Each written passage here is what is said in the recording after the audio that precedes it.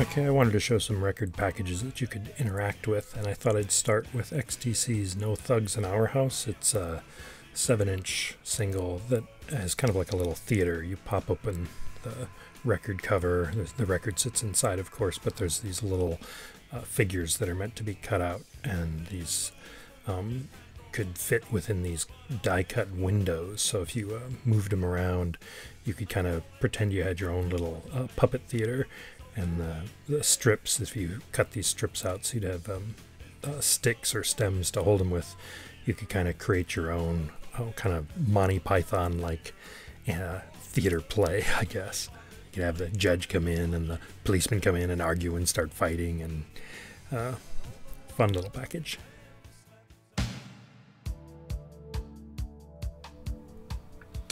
XTC's This World Over um, is actually a bunch of postcards that you could uh, remove and mail to friends. So you would actually uh, interact with friends via the postcards that were uh, included with the single.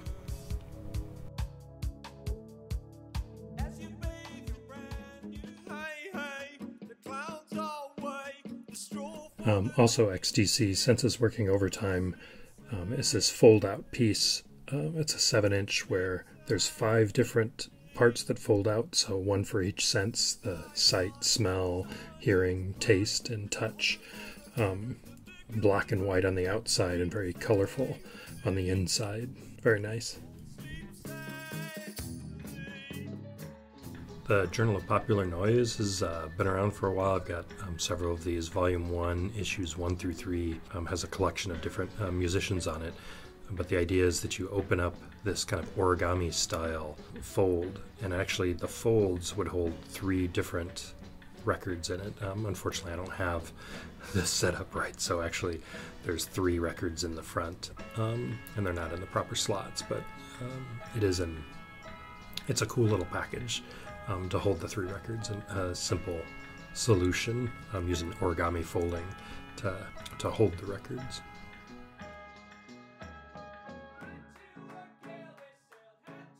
Graf Orlock Doombox EP. If you uh, open this one up, it actually folds out into this uh, large boombox. It's got a CD on the top, which is playable, and then it also has a, a clear 10 uh, inch uh, piece of vinyl on the inside. Um, but if you were to unfold this whole thing and hook it up, um, and I've only done this once, but I've got a picture of it, um, it actually turns into um, a three dimensional boombox explosions in the sky. Take care, take care, take care. It's a, a pretty cool setup. It, and you pull it out, it's actually a whole bunch of different things. Um, the first part, as you unfold it, are, are four main flaps, and you start to see that there's some kind of building or structure in here. And then when you get to the inside, there's a poster of grass, um, of the ground. And essentially, you fold out the poster, um, lay it flat, and then you'd put the uh, the record cover on top, and then you'd fold them up, and um, those areas when they're standing upright become the walls for the house. And uh, even the record, um, which is etched on one side and looks cool lit from behind, is kind of the, the wood flooring. XTC's Towers of London. Um, it's very simple. It's just a printed uh, clear sleeve um, with uh, four different images that you can slide in there uh, for the two singles. Um, so you see different uh, skylines at different times of the day, depending on which one um, is in the front. Golden Boots, Bland Canyon. This one's uh, fun. A Pioptic release, um, Bland Canyon on this uh, ultra clear vinyl. And the cover itself is just black and white with numbers on it. It has a paint by numbers look. And the idea is that it actually comes with uh, paints, watercolors, and you can um, um, use the colors to actually paint the cover. And in fact, there was a little um, message that came with it um, encouraging everybody to uh, paint the cover and to send um, the images in um, for a prize.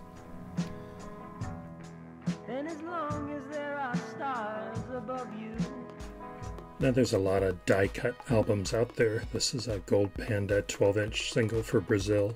very basic hexagon hole. Um, the XX for uh, Coexist um, also had a die cut uh, with this iridescent inner sleeve. Um, Goat World Music, uh, very simple die cut cover, very simple. Um, W's and M's, and you pull out the inner sleeve, and the diamonds move.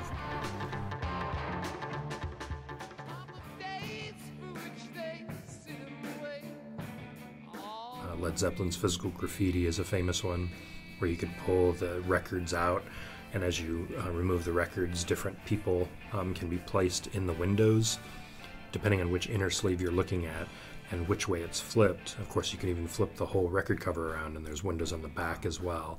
A lot of uh, famous and infamous people, as well as very random images, um, are here, including even uh, cats and things. Sisu Sharp Teeth, um, another die cut cover. It's really meant to show off the fancy colored vinyl though, because um, there's not much happens in the die cut, but the record itself um, is being shown off through the through the holes cut into the sleeve. I've got a handful of albums like this Detournement uh, Screaming Response album, um, which has strips of sandpaper glued to it. Um, same thing with the Loftus album from some years back with sandpaper and actually a screen print on the sandpaper but they all go back to this Column, The Return of the Column. This is actually a reissue, but the original, um, which actually this is Roger Simonson's copy, um, was coated with sandpaper, um, some pretty thick, rough sandpaper. So when you would put the album into your record uh, collection with all of your other records, it would destroy the records on either side of the album, which is um, kind of a, a brilliant uh, design.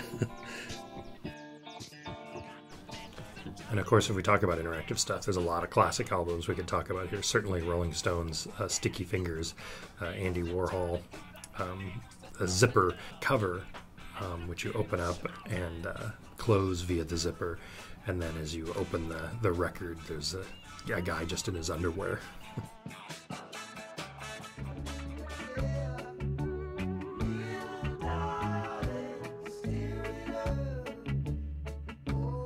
Another classic uh, interactive uh, album cover would be Bob Marley and the Wailers' Catch a Fire. Um, it's shaped like a Zippo lighter, so you open up the top, um, pull the album out, and um, just a just a really clever, uh, nice little uh, design, especially considering um, who the album is by.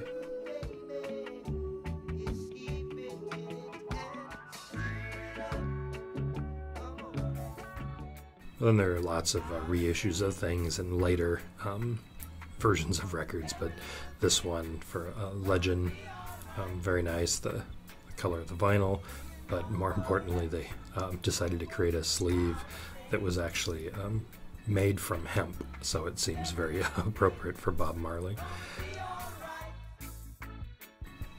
Bongzilla took it a step further. Uh, methods for obtaining extreme altitudes. Uh, it comes with uh, incense and a little container for your stash.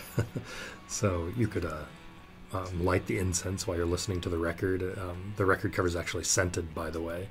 Um, and then the little uh, container for your stash. And the record's actually kind of in a dime bag type uh, Ziploc baggie.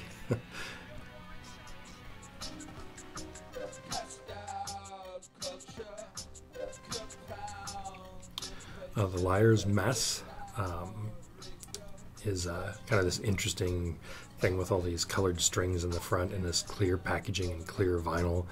Um, they actually did another version of it for a Mess on a Mission, um, where they actually pressed the uh, colored string into the record.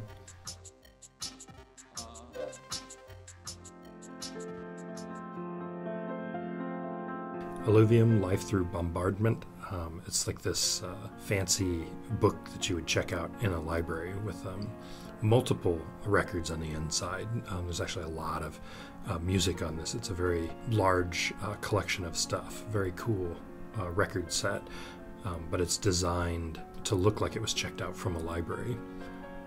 So you actually even have the library card and signatures and things on it.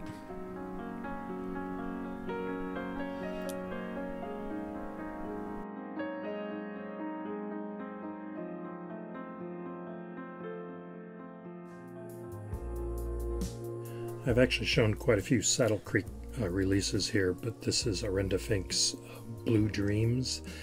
And uh, the pre order came with these little dream journals. They're actually old books that she signed and wrote lyrics and poems in. And you would uh, use it as your own journal. But to use old books um, that were being discarded and turn it into a little journal, I think is a nice uh, touch.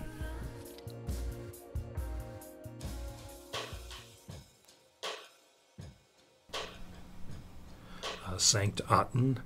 Um, just very simple. It's just a zipper bag. Um, you unzip it. Um, this fabric thing it uh, reveals uh, Sankt Aten's name on the inside, and the, the record just simply pulls out of it. It's very basic. We're around. Um, this one's kind of fun because it's the cover's uh, cut in this swirl, so um, it as you try to lift it up or do anything with it, the swirl pops out and reveals an image inside. It's uh, kind of interactive, I guess you could say.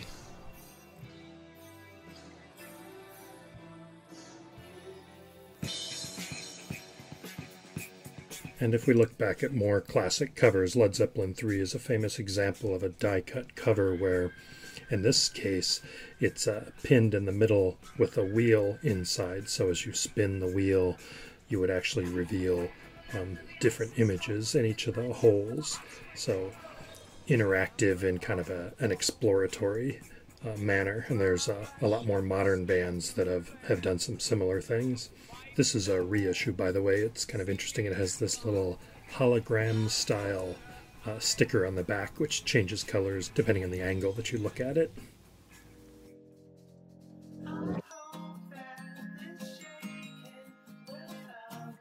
Um, Friend or Foe. Um, the CD version of this is um, pretty cool as well, but I'm just going to show the vinyl version. Maybe the CD I'll show in an, another video because there's a lot of CDs that I could show if I start um, talking about those kind of designs. Um, but the inside of the record has a, a lot of amazing illustrations, and what they've done for the outside cover is uh, create all these punched die cut areas so you can spin the wheel and reveal different parts of the images depending on which uh, area you're looking at. But a, uh, a lot of really great illustrations in here.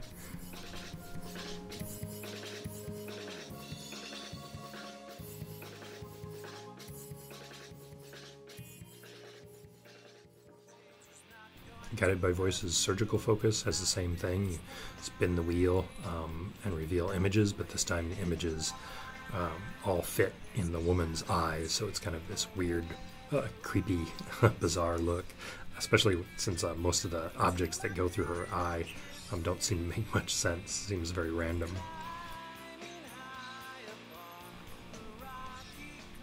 Um, really early one, John Lennon's uh, Walls and Bridges, a very basic one, where it's uh, just a simple uh, several flaps as you uh, start to go into the record. You originally reveal these uh, images that he drew or painted when he was younger, and also um, reveal photograph of him being silly and sticking out a tongue. Uh, which kind of corresponds to the back here, where he's wearing all these different glasses at the same time. Uh, Dream End, The Long Forgotten Friend. Um, it's a very basic one. You just open it up and it's kind of like a pop up book.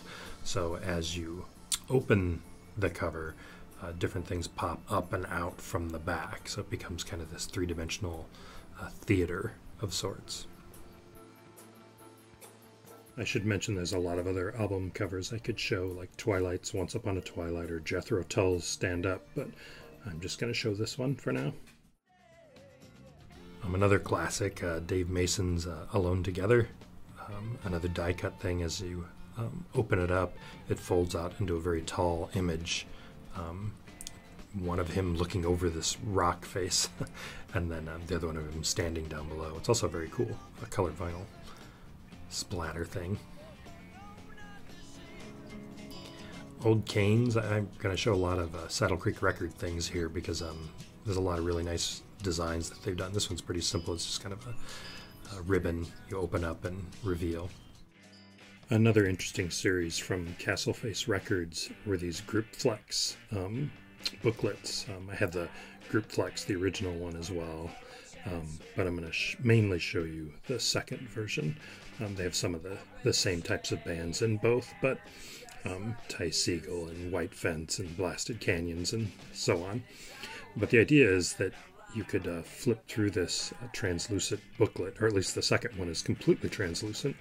Um, every other page has images on it. The odd numbered pages, I guess you could say, are the ones uh, that have music pressed into them. And you could fold the book um, in on itself so you don't have to remove the pages. You just put the whole uh, booklet down on the turntable to play it.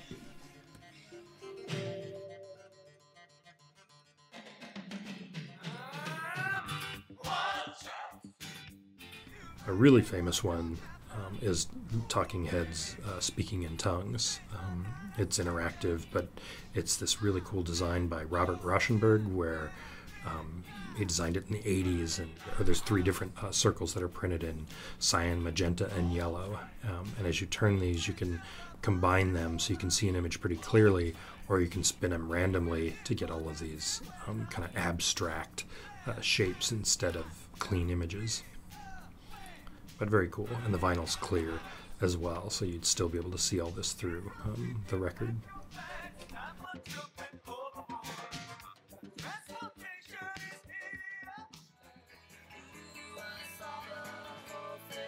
Uh, this fun little compilation of cool bands as Prego 97 Viewmasters. Pretty basic. It's just this clear vinyl, and the inside uh, label looks like a, a Viewmaster reel and the cover itself, although they didn't stamp it so it the wheel stays in there, which would have been kind of nice. the wheel's supposed to uh, spin and then be revealed in the die cut, um, but not quite as nice as the other ones that I was showing since it's not attached.